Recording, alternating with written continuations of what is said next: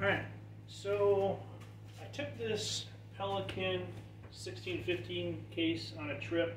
I uh, just got back from it yesterday. Um, I flew from Michigan down to uh, Mexico for for work in GM plant, doing controls work.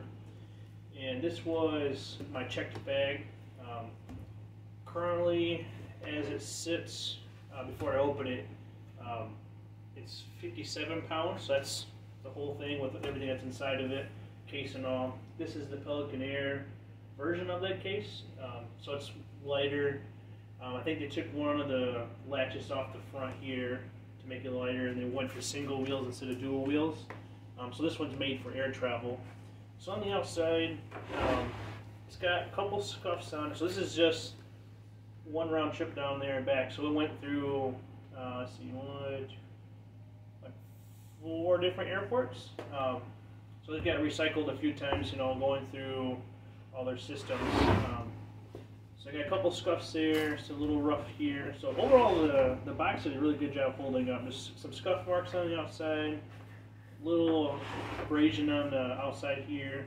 Uh, more scuff marks up here. Most of it's just rubbing right off, so nothing to be really concerned about. On this side, there's a little bit of a gouge here, so it hit something pretty hard there, but it's just the surface, like it's it's coming off, so it, it rubbed some of the plastic off, indented it there, but nothing, like nothing looks stressed, like it's gonna snap off. Um, the handle works awesome. On the back side with the hinges here, you can see a couple nicks here, or just hitting bumpers or whatever inside when they're sorting the luggage. Um, overall, the, the box held up great, so, so far so good. So if I open it up, so it's, it's pretty heavy at 57 pounds. I flew United down, and they consider this overweight, and then American Airlines coming back, and they don't. So I had to pay a premium there on the way down, but not on the way back. Um, so inside, oh, so I should talk about this. So I always throw Velcro straps on, just as like a secondary backup if the latches let go for some reason. Uh, but this is just Velcro so the TSA can take it off if you need to. So inside, let me show you what's inside there.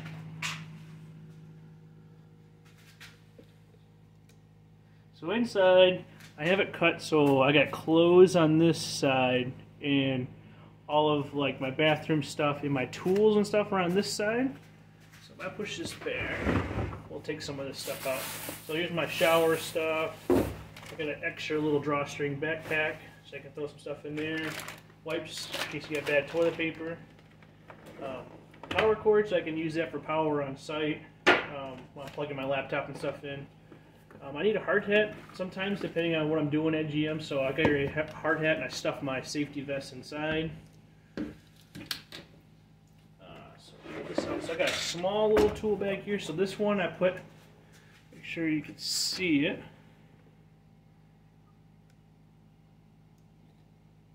There we go. So this one, I put all of my communication cables and stuff in. So I get to open up here. So it's got Ethernet cables, a couple adapters. I put like my pocket utility knives and stuff in there. But mainly my communication cables stay in this container. Uh, got some medicine stuff in here. Just daily vitamins and stuff. Toothbrush and bag. I got deodorant, spray deodorant. Um, don't like the stick stuff because sometimes that degrades. Um, got my steel toe boots in here. So this worked out pretty good. So depending on if you got, um, you know, work with uh, with overhead stuff, or you're working in uh, on a project that's being installed at GM, they'll require steel toe boots. That's what I got. These these are just some keen ones. Um, I'll probably change those later. They're starting to crack around the edges, but I've had these for a few years now. Um, but inside, I, I use the space inside, so I got contact stuff shoved in that one. This one had a little tough book here. So I carried some memory devices down with me. I've installed those, so I didn't need them. So I need to bring the container back, so I just shoved it in here.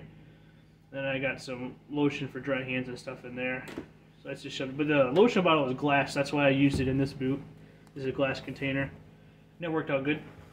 So I have steel toe boots with some stuff inside. Got another Tough Built box. So this one has all my hand tools in it. Um, and I went over another video um, of what was in my um, my backpack that I carry with. And these are all the tools that I use my backpack, my Tough Built laptop backpack. And I use my Tough Built laptop backpack as my carry-on.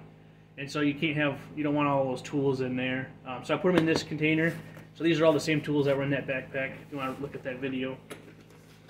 Get that out of there. Uh, I got my belt here. I got sock shoes, so this is the secondary shoes that I can wear and just throw on my feet and they're nice. I like those. And they pack up really small. That's it for, you know, tools wise and stuff. So I kept that on this side and this side. I have several pairs of pants, several shirts, socks, underwear.